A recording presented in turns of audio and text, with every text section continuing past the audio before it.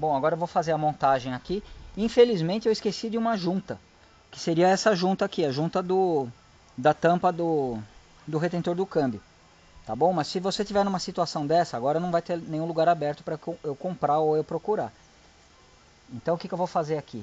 Eu vou tentar aproveitar a mesma junta. Tá bom? O que eu não, não gosto de fazer nunca. Tá bom? Bastante graxa aqui.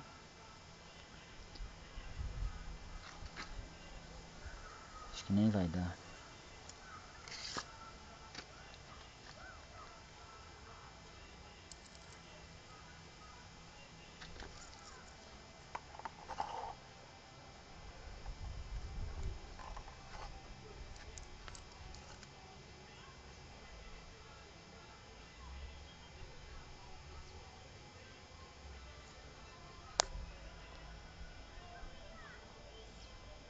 Vai ficar mais ou menos. Então vou tentar montar assim, ó. Com a junta velha. Não é o que eu gosto de fazer, mas eu não tenho outra alternativa agora.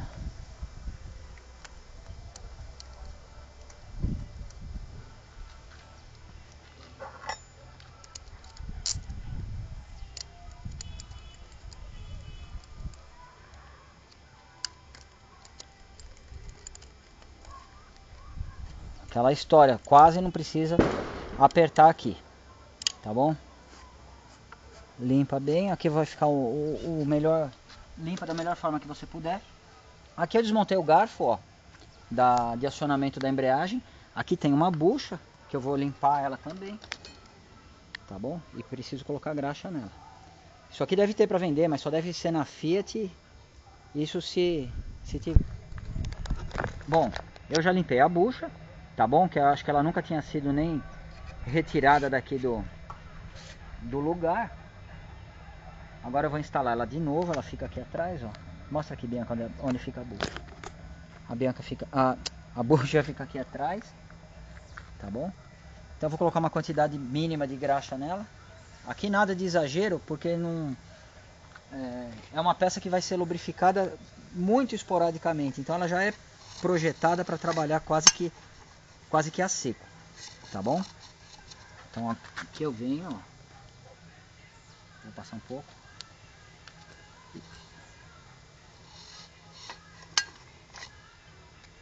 Um pouco de graxa aqui embaixo. Eu vou para o garfo.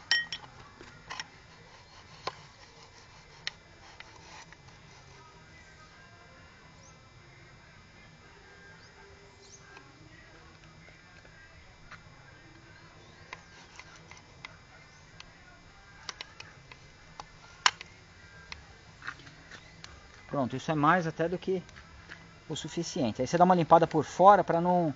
Porque a graxa no, no, primeiro instante ela é excelente, mas depois quando ela está num ambiente de poeira e tal, na verdade ela acaba tendo efeito contrário de um abrasivo, porque ela vai acumulando todo, todas as, as impurezas que caem ali e vai, na verdade o desgaste acaba aumentando.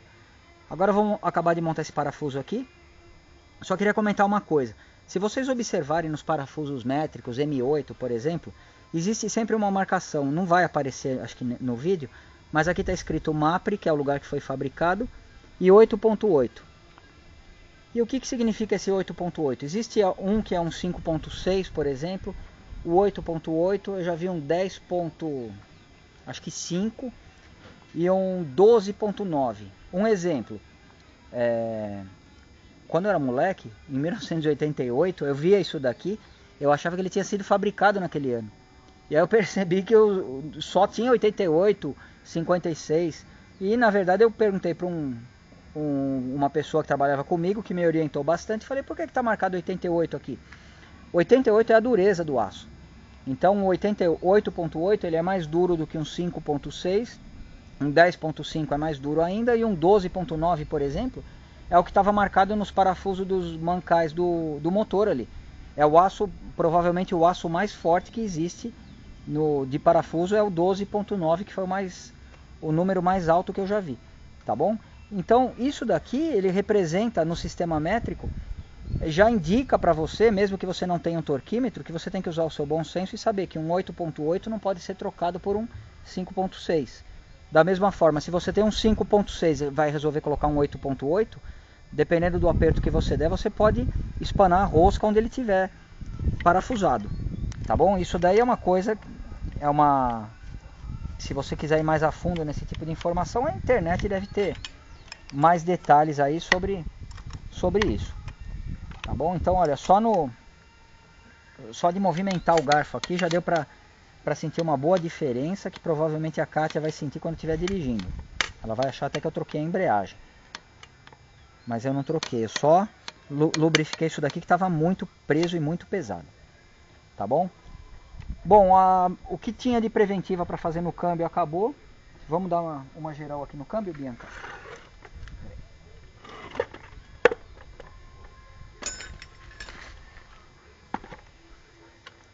Tá bom? Então aqui está a frente do carro. Mostra aqui, Bianca. Aqui é, o, aqui é o bujão por onde a gente drenou o óleo do câmbio no primeiro vídeo, ou no segundo, não lembro. Tá bom? Aqui é o bujão por onde a gente drenou o óleo do câmbio. Aqui na frente, mostra aqui na frente agora. Aqui é o sensor do, da luz de ré. E aqui é o parafuso por onde você vai acrescentar o óleo de câmbio. Então se você imaginar ele numa linha horizontal, que o câmbio vai ficar montado assim, ó. O câmbio vai ficar montado assim. O nível do óleo do, do câmbio vai ficar aqui.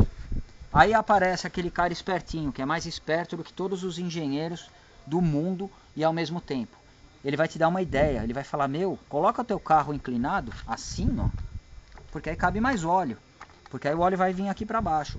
Aí você cai na conversa do, do, do espertão e o que, que acaba acontecendo? O nível de óleo sobe além do projeto você acaba tendo um vazamento enorme pelo retentor do volante, você acaba tendo vazamento pelas outras juntas, fora que o câmbio fica, acaba se aquecendo mais porque ele fica mais pesado com óleo onde não deve ter. Ah, esquecemos uma coisa, Bianca. Mostra aqui a pecinha. Ó, aqui eu comprei uma sanfoninha. Deixa eu pegar ela lá.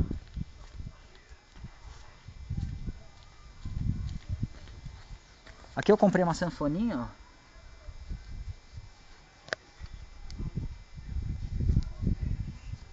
Que ela vai ficar montada bem aqui, tá bom?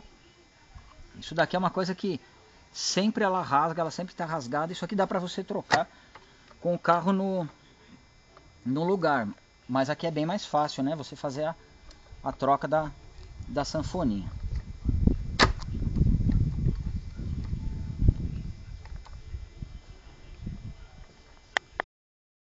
Bom, acabei de colocar a sanfoninha, ela estava difícil de entrar. Eu joguei um pouco de lubrificante, tá bom?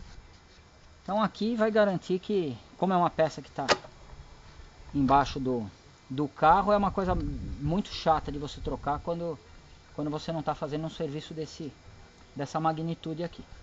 Tá bom? Então por último vem o... Mostra aqui agora, Bianca. O rolamento. Por último vem o rolamento aqui do, do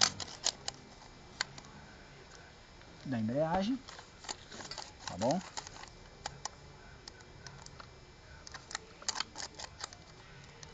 Pera eu não sei o lado que eu tenho que pôr isso agora. Ah, é assim. Tenho colocado errado, ó. Pronto, agora ele está na posição certa, ó, tá vendo? Então aqui, é, você pode até se sentir tentado a, a lubrificar esse, esse tubo aqui, mas não é necessário. Por quê? Porque a peça do rolamento aqui é uma peça, é uma bucha de plástico na verdade, e ela já, já tem aí um tratamento anti-atrito, aí um tratamento que se vai se autolubrificar, tá bom? Então isso, essas peças aqui é interessante que você nem deixe, mantenha tudo seco, para longo prazo você não acumular é, sujeira, tá bom? Bom, em resumo, tá, o meu câmbio está pronto agora para subir ali no motor, tá bom? E o próximo passo agora eu, é o mais desafiador para mim, porque eu estou sozinho. Vai ser colocar, vai ser fazer o casamento do desses quatro parafusos aqui nos quatro parafusos do bloco do motor. Então até o próximo.